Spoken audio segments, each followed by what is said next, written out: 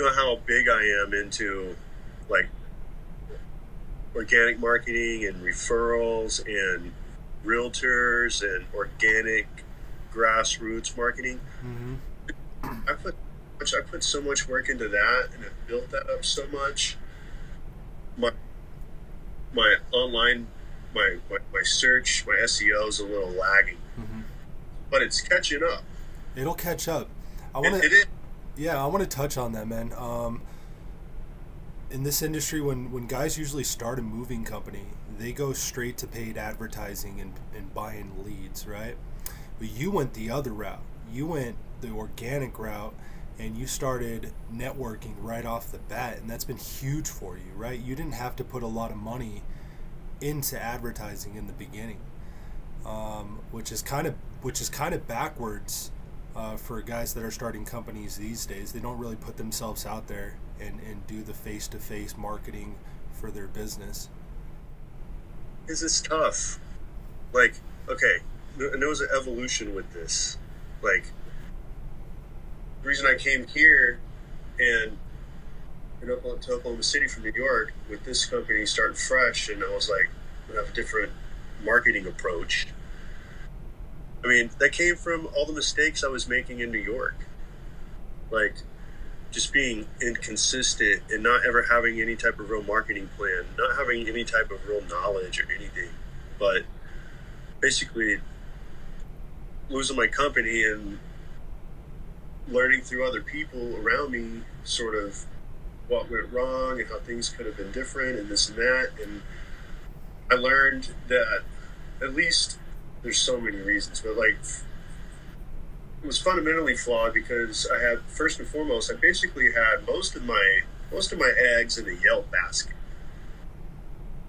You know, I'm getting what I'm getting forty percent of my leads from Yelp alone, which is cool. But what if Yelp gets wiped off the face of the map? Or what if Yelp starts to suck? Oh boy, it, it did that. Mm-hmm. I don't look at Yelp myself. I look at Google. People still use it, whatever. But back then it was pretty big, especially in New York City. So it was all like Yelp, and I had a very strong word of mouth. And of course, you got your trucks, and then a little bit of Google, a little bit of Facebook. Facebook seemed to be good to us, just running ads. But I feel like running Facebook ads used to be very easy to run ads and get business from. It's not like that anymore. At least not here in OKC. New York, you'd be like, oh, we're slow, run some Facebook ads. And it was like magic. But it's not like that anymore. That was 2000, it was almost 10 years ago, almost, you know, seven, six to 10 years ago. Um, I didn't, and I didn't know anything about, I didn't really understand or I didn't understand the, the effectiveness and, and, and the and the essential nature of uh, what networking was. I didn't learn that till I later. Like I learned that through, and I and I didn't even learn about networking really through through the moving industry. On the very tail end of me being in the moving industry in New York, I worked for the person that bought my company for me, a much larger company. And that's where I learned more about business development and the really neat, like the like networking being necessity, you know, like the real fundamentals, you know, and it's like having a multimillionaire tell me day in, day out, like, why would you spend one single dollar on an ad whenever you can just put a suit on and walk down the street and go to the right place and or help for anyone for that nature. I mean, you can just walk down the street, you can go find your fucking business. Go find it. Hit the pavement. Yeah, hit the pavement. And I mean, most of it's, but I think where I think where people, I think, I think where people have a hard time doing that is like fill a room full of 10 people and ask them, say, raise your hand if you like going to crowded places and walking up to a complete stranger and greeting them and telling them about yourself and your business. Although that's what everyone's there for, but raise your hand if you, if you want and like doing that. You want to know how many hands are going to go up in a room of 10? Not even half. Dude, like two. Yeah, maybe, maybe, maybe five. I think that's super generous. And I'm talking people who are answering just honestly, like being honest with themselves, mm-hmm. you know, like, is this something I really wanted? Is that something you really want to do? And it's like, no, probably not. Um, so, you know, it's hard um, to break through certain like social barriers when you're doing stuff like that. But I happen to be okay with that I, ne- I don't necessarily. Hey, I have some social anxiety too, just like most people do, and all this shit. I don't really love it, but like I'll do it, and I know deep down that like I'm good at speaking to people, and I'm definitely good about talking about my vision. Mm-hmm. That's the. I'll tell my I'll tell my company story all fucking day, like till I'm blue in the face. Like that's easy. I love talking about Sherpa or my experience and my company, and I I like talking about this stuff. It's relevant to the environment. Um, and if you're at a networking event, it obviously is. So that's easy for me to kind of get out there and just kind of knowing and, and, and just knowing that the best business is coming from this sector uh, where you're the just peer to peer, word of mouth, you know, all the home service people out there, realtors, roofers, everyone um, so it's easy for me to kind of dive into that, and especially here in Oklahoma City, I really feel like I came in with an edge because I'm this guy that is from here, but I've been living in New York City and I was in the Marine Corps. I've been in New York for like 12 years and I was in the Marine Corps before then. I haven't been here in a long time. There's already a story to tell there. So, was, and, and this is a really small market. So, man, it was really easy for me to be like, yeah, this is, I want to go out there and knock some socks off of some folks, man. Like, some of my best referral partners, dude, like, closest ones, best ones, um, most amazing people, the best jobs. I mean, the, the, the, the low hanging the low hanging fruit, the money makers. Like, dude, I just walked into their offices. I remember one. I Walked in. I poked my head in the door. It was like, and there were like four women sitting there, all at their computers. Just a real real estate office. The owner was one of them, and she had like three other people with her, and they were all on their computers. I just poked my head, and I was like, "Are you guys busy?" they were like, "No, come on in." And I walked in, and I mean, the rest is history. Yeah, just walking like, in the door, man. Walking in the door, it's all about creating relationships, man. Like that's where it's really coming from, or at least that's where it needs to come um, come from from the beginning. You need to build like a solid foundation of reliable and consistent referral partners, real estate agents specifically.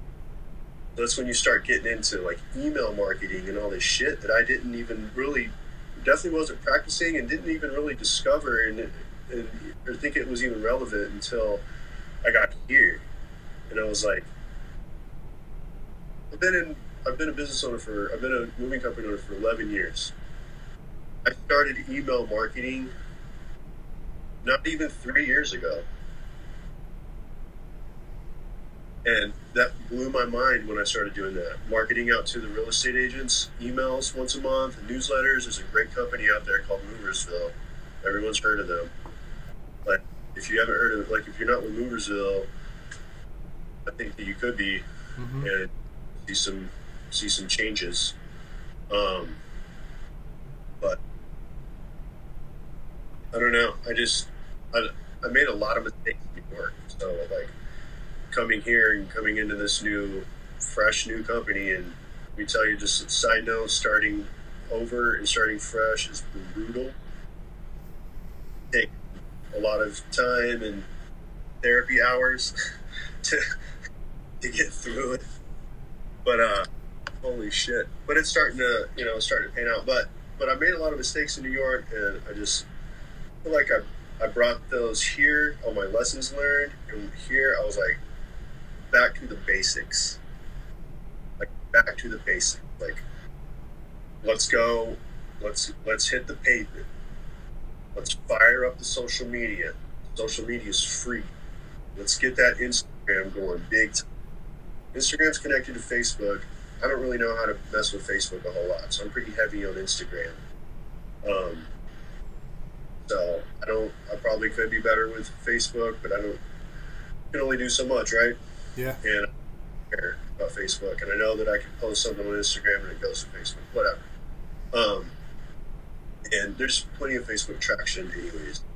But um, fire up the social media. Like, how can we keep our marketing budget super small so we can because we're brand new we're trying to get this off the ground we don't even have money for a lot of marketing in the first place if you have a warehouse space like we did starting out with an expensive rent out like dude this these bills are going to be hard to cover when you first start so to go in hot and heavy unless you've got the money, that's amazing. If you don't, but going in hot and heavy with some like two or three thousand dollar Google shit going on, and you're just sitting in an office waiting for leads to come in off the internet. Sounds like a bit of a slow burn to me. And the quality of leads, Google people that are online, like you want to maximize that and get a shitload of it because it's going to be those are more difficult to book. People are shopping. Mm-hmm. I want the realtor referral because the person that they referred, they're probably more than likely not shopping. They're looking for a good mover and they trust a realtor to say, when, when they ask for a good mover, the realtor's going to be like, oh, call Sherpa they're the best. That is end of story for that shipper. Like they, they're like Sherpa done. I don't care whatever their price is, what is what their price is. Sarah told me to call Sherpa. That's who I'm calling. I'm not. First time I've hired movers. So I'm doing what I'm told right now Like, that's what you want. Most, I feel like you want mostly that. Obviously, we call that low hanging fruit. Like we want that. And more fruitful, bigger jobs come from there most of the time. But if you have a flood of Google coming in too, that's amazing. And that's what I'm working on now. I'm in. I'm, I'm at my like three year mark. Mm-hmm. I've, I've thrown more fuel on the fire in the last three months with, with, with a couple of people that have been helping me, and I'm starting to really see those Google results. But I'm I'm really starting to uh, become eager to take my to take my SEO to the next level. It's important, man. I've seen a huge increase in leads from Google, just Google search, because of the SEO work I've put in over the last year and a half huge, right? And now I'm at a point where I'm in the Google three pack. So if you go to Google Maps and you search for movers, we're, we're one of the three top moving companies listed, right? And when people go on to Google, they're looking at you know the first like five links, and they're going to choose one of those links. You, you you're more likely going to be picked out of one of those links than you are if you're on the second page of Google. But I'm seeing it now, man. I'm seeing steady business over the last like six months, um, and the majority of that is word of mouth. But right under that, it's Google, and it's not even paid advertising with Google. My budget has went down so much. It's just all organic traffic from Google Maps or just from the search engine. How many leads from Google are you getting on any given day? So just, just let's just let's just say the last three days. So I've probably gotten anywhere from three to five calls, and that's direct calls. And each one of these cu- customers um, want to work with me. But it's also the end of the month, right? So you got a lot of moving companies that are overbooking jobs, canceling on their clients, and these people are scrambling to find find movers. But um, yeah, over the last three months, I think I've generated close to 100 leads from Google. This is what's happening to us right now. Is I use MoveIt and one, two, three, four, five. There's the like the top five referral sources are on the dashboard here. This entire time we've even been open, real estate agent and word of mouth have always, literally every month, are always the top two. No matter what, always. Google's usually at the bottom.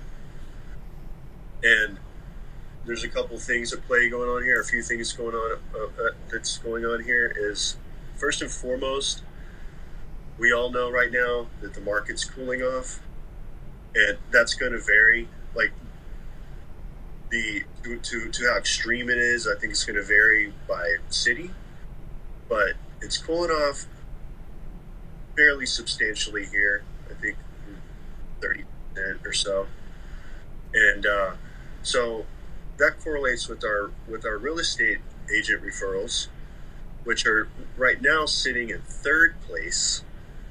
It's been at the bottom for a few weeks, and it's starting to pick back up now.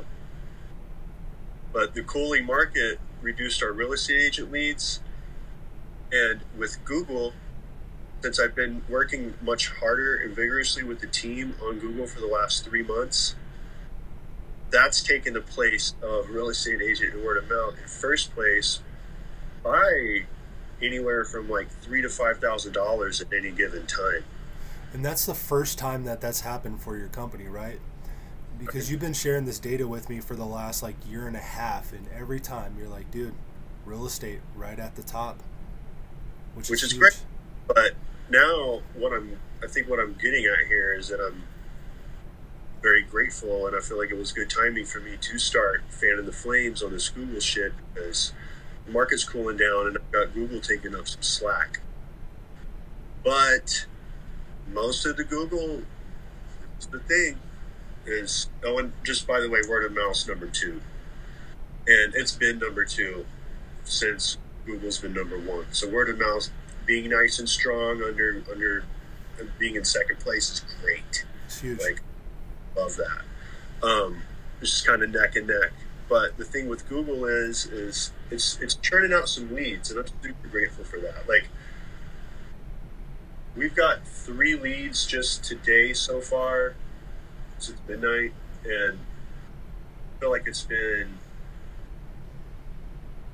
Google and a, maybe two Googles and a word of mouth. I feel like we're getting several Google leads a day. But the thing with Google, not only are they competitive, they're also usually, I'm talking probably a solid 60, 70% of the time are small. Very small stuff. Real, like some stuff is like, I had a lady yesterday, and she's like, I went even well below our minimum. She wanted like a head, like bed frame or headboard taken downstairs at her house. Mm-hmm. Like, I can help you in the afternoon, but I'm not going to tell you no. I want to try to make some money, and I already got a team out, so why not shoot him over there real quick? I wouldn't just put, I wouldn't, I wouldn't try to do that by itself, but I already had a team out, and they could make it easy. Go get some cash, great. And I was like two fifty, and she's like, basically no. I want to pay hundred dollars for this. Mm-hmm. And that's what's coming from Google. I don't have that coming from my realtors. Like I don't have that coming from my word of mouth. Yeah. Uh, I might see it from a return customer, which is, by the way, the fourth place, and Yelp is at the bottom. Um, I put very, very little into Yelp, but I do get some Yelp love. It's on the list. It's like there's enough revenue. There's enough. There's enough Yelp revenue for it to be in our on our dashboard. And return customer, like I said, but um, a lot of Google leads are small too, and that's cool. Every lead leads to more business, and that's great. Um, but I just feel like with Google, I don't know. I just feel like that. Just in the last few days, I feel like I've come to some realizations. Just, I know, I know that I need to probably be spending more money on it. Um, I know that I need to be Google guaranteed, David. Um, I was talking to this guy about it yesterday too. Um, I think I just need to, just in general, among some other things that are relevant right now to the conversation. But I'm gonna, but I think more money in general would be would be good. Um, there's a lot of talented people out there too that have been doing moving SEO specifically for a long time. You know, there are people out there like that too, and you find one of them, they could really help you grow your business exponentially, uh, exponential, exponentially quicker. Sorry, um, than what you might be doing right now. And that's kind of what I'm pushing into. Is like we were kind of talking about shiny shit earlier, it's, but it's like, wouldn't I rather make what I already have work better for me? And if that requires spending more money, which it usually does, always uh, does, then let's let's do that. Like let's do that. And I can say that I'm not unhappy with my consistency right now. It's staying consistent, and I like that. And September's starting to fill in because the market's cooled down so much the last few weeks. But we're we're strong still. Uh, we're still having a uh, we're having a profitable August. It's not a hand over fist fist August, but it's a clean August. It's a quiet August, and it's a profitable August. That's priceless. That's huge. Now, if you can, but if, if you can, if you can, if you can double down on that, still keep it clean and profitable and quiet, but still double down on that. Seems very chaotic doubling down on uh, hundred thousand dollars in a month. Doubling down on that seems pretty chaotic, but it doesn't have to be. It does not have to be. I feel like chaos is really avoided in your approach to your customers. I'm the owner. I'm the only salesman here, and I do 80% of my estimates in home. I've got three of them today. I've got to leave in 15 minutes to my first one.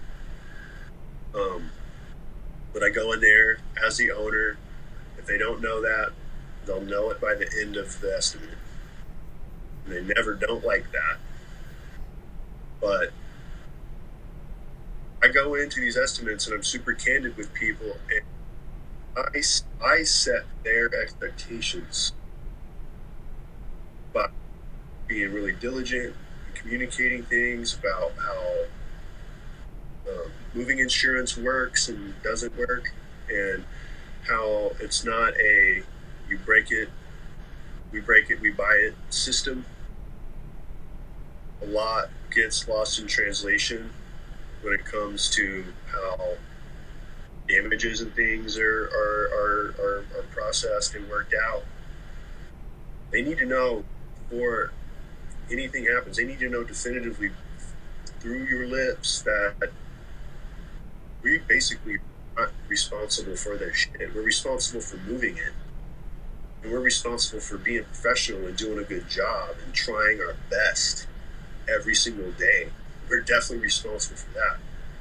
But we can't help that moving is, a, is, is haphazard in nature in the first place. And the wrong thing moved at the wrong time, three or four inches, it's going to damage this thing. It doesn't matter who's doing it. Like, just it's accident prone. So, this is, I'm not an ATM machine, and I'm not an insurance company, and this is what you're getting. And if there is any negligence involved, and and if it is a, an easy fix or whatever, we need to keep the peace. We don't want to piss anyone off and make anyone disgusted with us and leave a bad review and never refer us again. We want to avoid that, but people have to understand that appreciated furniture has no like inherent type of like value that you know like some set value that you know someone knows like no this desk i'm sitting here right now i know it was kind of expensive actually. It was almost a thousand dollars it was pretty basic pretty basic desk and freaking drawers broke i've had it for four or five years the drawer's broken. Like if this got damaged like by some movers i wouldn't be happy.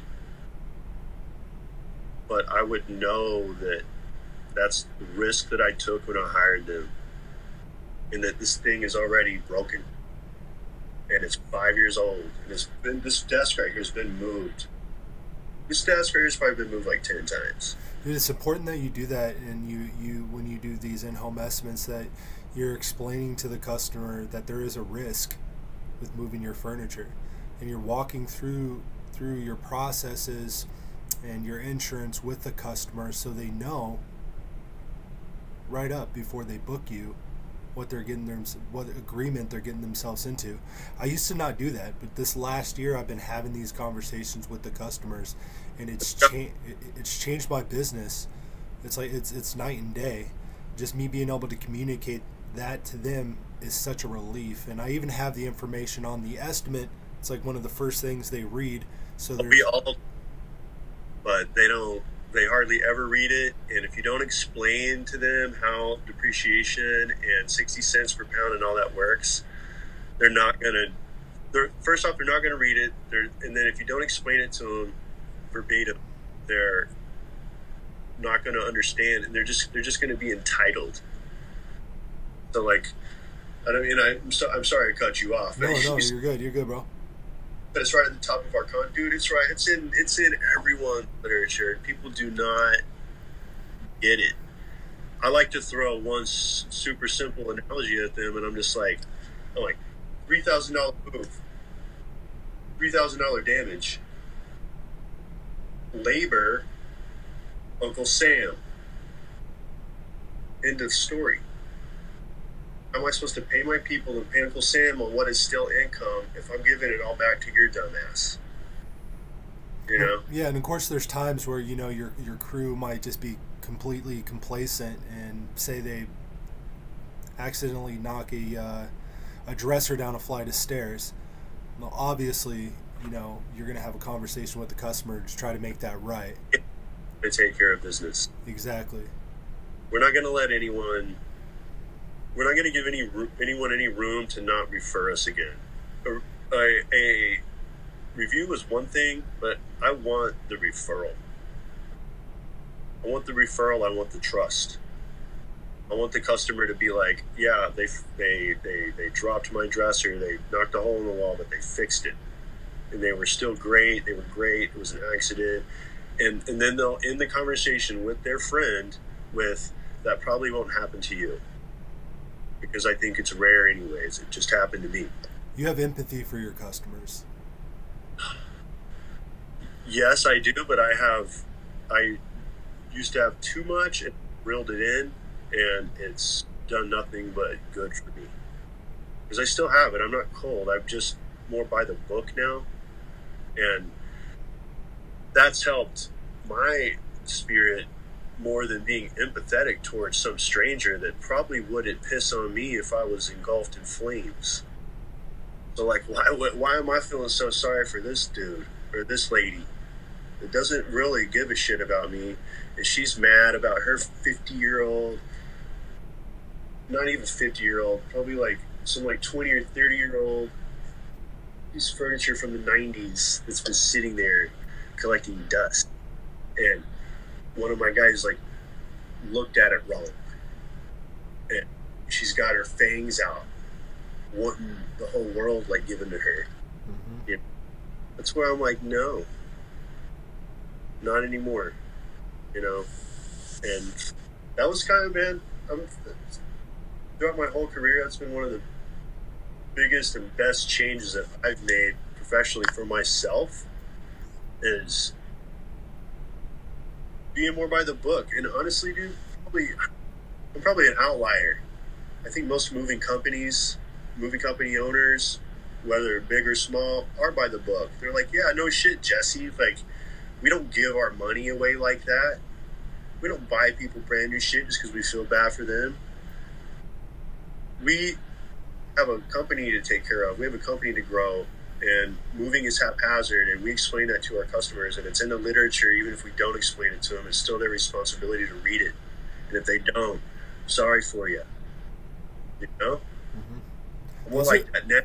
I think that that's most moving company owners. I, I'm not. I don't feel like I'm representing, at least on that front. I don't feel like I'm representing tons of moving company owners that are like overly empathetic and scared. Basically, it's fear feeding into. Mm-hmm. Scared of this customer. I'm scared of them being mad at me. That's all it is. Is fear. Well, fuck fear. Like we all know that at this mm-hmm. point. You're a, a business owner, whether you've been in it for six weeks or whether you've been in it for six years or sixteen. You've broken through at least one fear barrier the first fear barrier you broke through was starting your business in the first place. So you might be six hours old. You might be six minutes old. Like, you know about fear if you're in business.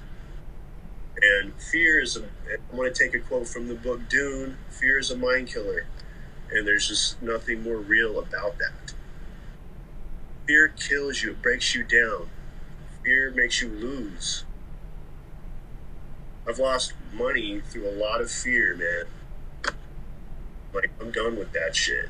I'm done with that. Yeah, I can see that, man. I, I'm I'm done with it as well. I think that it's like a balance between like empathy and policy, and then also like protecting yourself and your business. When I started Headband, I was really quick just to replace a fifteen hundred dollar piece of furniture, even if I took the loss because I was afraid they were going to go online and talk bad about the business. But then I learned it's just I through these through these mistakes that we've made, damaged furniture, it's just important to be able to stick up for yourself, but also know how to talk to the customer, hear their story. You know, just just keep the dialogue rolling. Let them know that you do care. Um, but man, it, it's it's definitely a balance uh, between policy and um, yeah, man. And I think you do have, and I think there is a time and a place for it. Like, like especially when you are new. Like you have a you have a business to build. If you start like pissing people off right out of the gate, it's not a good look. It's not a good look. You wait till you're three years old and start telling people to fuck off. Like because well, I'm joking. I know you are. Not really. But, but seriously, stand your ground. Well, it's just more of like this. Like at this point, this point, one one person that doesn't understand, one entitled person that doesn't understand things that they don't feel like understanding, they're making a choice not to understand. One person like that, once in a blue moon, isn't going to sink anyone's ship. So fuck you. Yeah. Yeah. Like, I did what I could for you. Mm-hmm. I gave you, I gave you, I gave you everything I could. I paid for the hole in your wall, which is a hundred bucks. I took the few minutes off your bill that you complained about.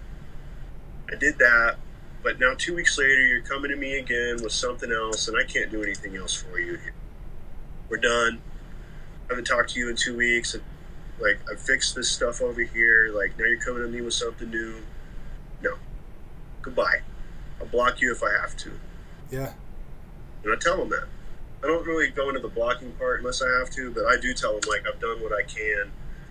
Like this is pretty. Like sorry, I've already, and which me doing what I can, even me sticking by the book is. I'm still going to go above and beyond somewhat. Some somewhat Mm-hmm. 60 cents per pound doesn't equate to very much. But so if I've got to if I've got to give someone 150, two, 300 bucks or something like that to keep them happy, fine. I'll patch up your wall and stuff. I'm just not gonna be buying people brand new stuff, and I'm not gonna be reimbursing all this stuff. I'm not going to be giving giving anyone fifteen, two, three thousand dollars, four thousand dollars. No, no. I think That's, that there's like a. I mean, you can have a million dollar moving company, but it doesn't mean you're going to be profitable, right? And, if you're giving away thousands of dollars back to your customers because that's just your policy, you're not going to be making money. The, the the expenses in this industry are just so high, man. Let's say I just cannot wait until next season. Like it's been a profitable 2022, but I'm much more excited about next season because it's just going to be even better. It's just every, and that's the idea, obviously, with any business is every year you want things to be better. You want things to be more profitable. You could do the same amount of business that you did the year prior, not a dollar more in revenue, but you can make more money off of that just by being smarter than you were the year before. You know, like that's what it's all about. And I had a good friend, his name is Rick. He he taught me this whole mentality of like, don't look, don't look don't look around corners. Don't look elsewhere for more and more and more. Like just focus on what you have. Make make it better. Where are you losing money? Are you spending too much money here? Talk to your bookkeepers. Are you spending Are you spending money on senseless marketing? Look at that. Are you doing marketing yourself when someone else should be? You know, like look at that. Like these are all play. Like, are you? Do you? Do you have? I've got one for you do you have too many people working in your office and not enough people out in the field because you don't have enough moves going, churning out revenue to pay for these people working in your office? I've done that before. Labor's super touchy. I think we all know that, especially if you're running a payroll like you should be. Writing check, writing handwritten checks to people once week or every two weeks or whatever is no fun. But I know it happens sometimes but have a payroll set up. Like, shit's expensive, so we do have to minimize costs. We just need to spend money smart and spend it in the right places. When it comes to marketing, especially if you're just starting out, I would highly recommend focusing on more grassroots type marketing styles. Know, cost a lot of money, but where you're building relationships, you have to build relationships. That's and I, and I have to go right now. And that's really what I want to leave you with is just that relationship. There's nothing that's going to be more potent and more powerful for your business than, than, than having someone being that guy. Everyone's got a guy for something, right? I've got a, oh, I got a guy. I got a guy. You know, I'm a lot of people's guys around here. And that all came from me meeting people, engaging with people, on Instagram, talking to people on Instagram that I've never even met in person. I've got a lot of those. I've got a lot of pen pals that I've never even fucking met. Like, I'm so engaged in the community. So, like, that's super strong. But if you've got a market cool down and you're in home services and that's all you got, you're going to cool down with that market. You don't want that. You want to be diversified. You need to have equal or greater uh, generation going on on the on the internet too. Sure. Nice. Yeah, and if you've got both of those, dude, you're gonna grow. You're gonna grow quick. You're gonna grow a lot. Um, you're gonna be making a lot of people happy, a lot of customers, a lot of employees. Um, you're just going to be on top of your game. So, like, that's what I'm working on right now. But I do got to go. All right, brother. I appreciate the talk, man. It's yep. been so. Thank you. Yes, sir. Let's talk soon. All right, brother. All right, Bye. peace.